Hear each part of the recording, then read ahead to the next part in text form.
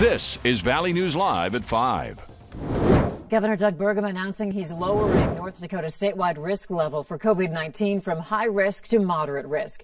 The governor is also increasing capacity limits for restaurants, bars, and gatherings as active cases and hospitalizations due to COVID-19 have decreased in North Dakota. Bars and restaurants have been operating at up to 50% capacity with no more than 150 people. Starting this Friday, January 8th, they can operate at 65% capacity with no more than 200 people.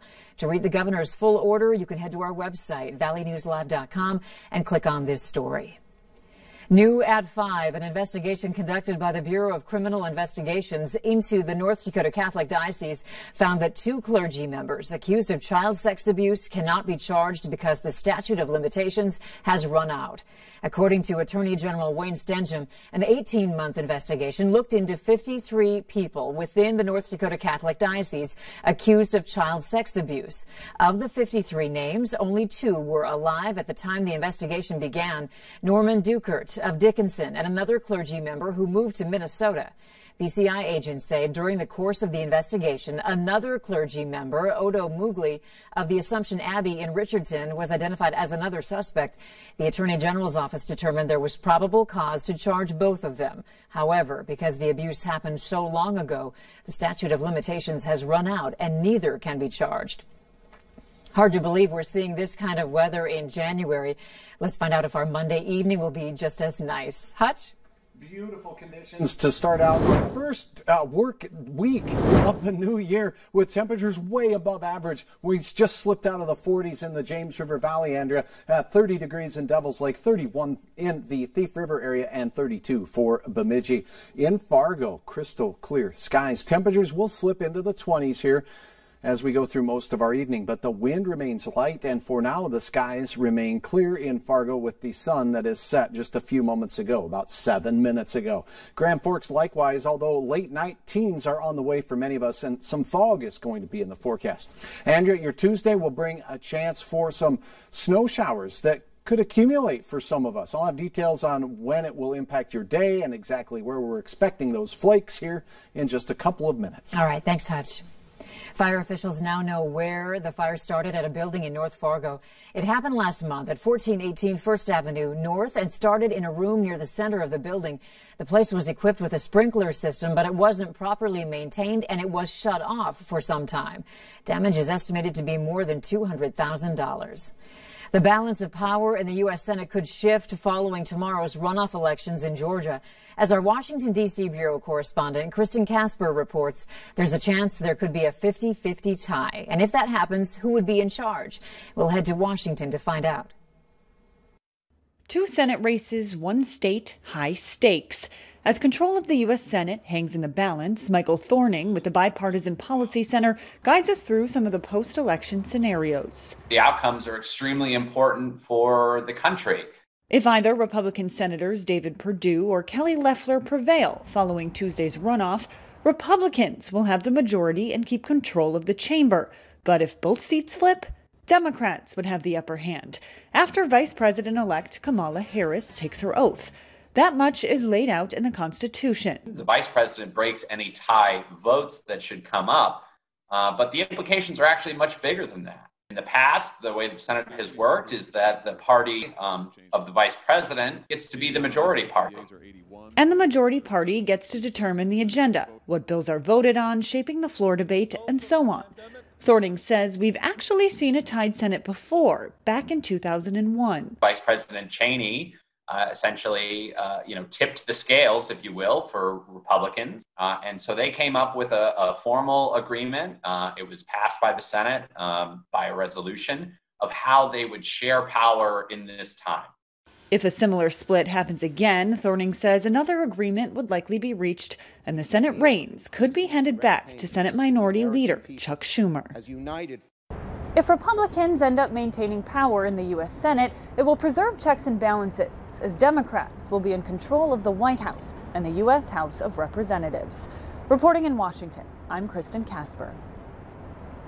And all eyes are on those critical Senate runoffs in Georgia. Vice President Mike Pence making a visit on election eve to campaign for GOP Senate incumbents Kelly Loeffler and David Perdue.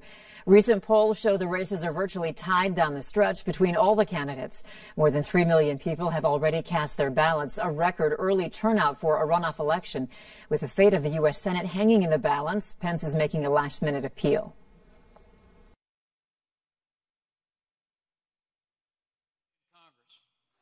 We'll It's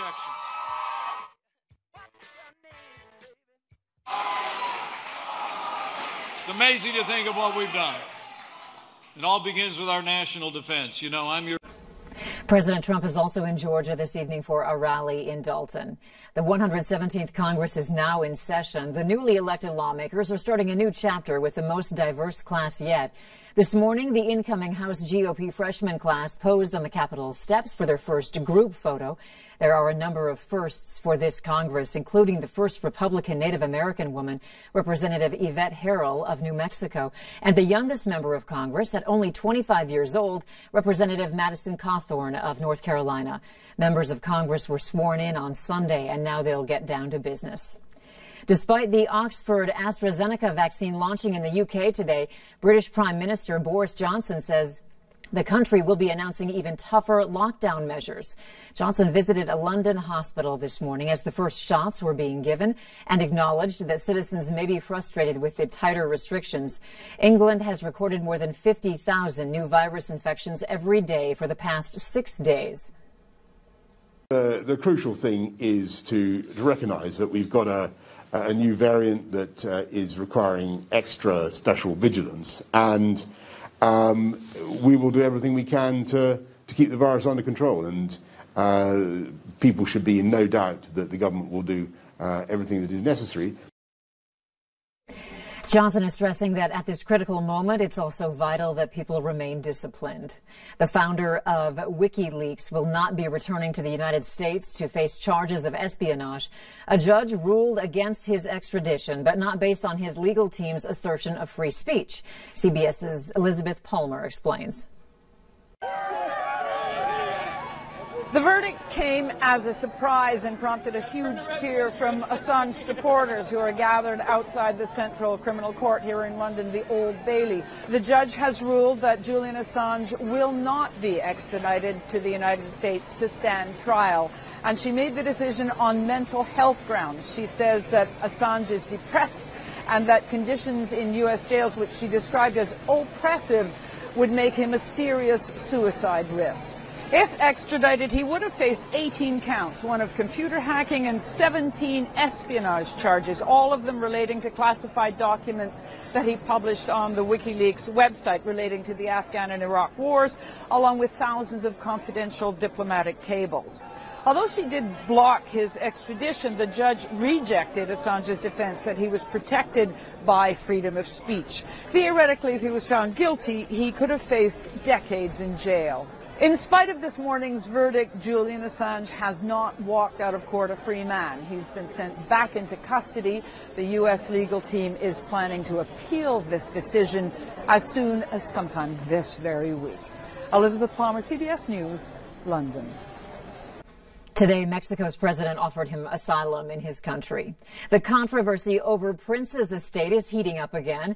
The IRS now says administrators have undervalued it by 50% or about $80 million. The rock star, who died of a fentanyl overdose in 2016, did not leave a will. The IRS determined that Prince's estate is worth $163 million, overshadowing the $80 million valuation submitted by the estate's administrator. The discrepancy mostly involves Prince's music publishing and recording interests. T-Mobile suffered a security breach last month that may have exposed customers' call records. The company says the information did not include names, physical or email addresses, credit card or social security numbers, passwords or PINs. T-Mobile says it has notified the roughly 200,000 people who may be affected. A new residential transfer station is now open at the Fargo landfill. The transfer station allows residents of Fargo to drop off certain items at no charge. That includes up to two appliances per month, cardboard, automotive batteries, metal objects, household garbage, and all-in-one recycling. They ask that you separate the items into the appropriate bins in the building. An attendant will be available to help. Proof of residency is required. Still to come, if you're in search of the perfect job, there's a new tool that might help. And it was a great way to start the work week. Temperatures very warm, well above average in the 30s. But we do have some changes in your forecast. Details right after this.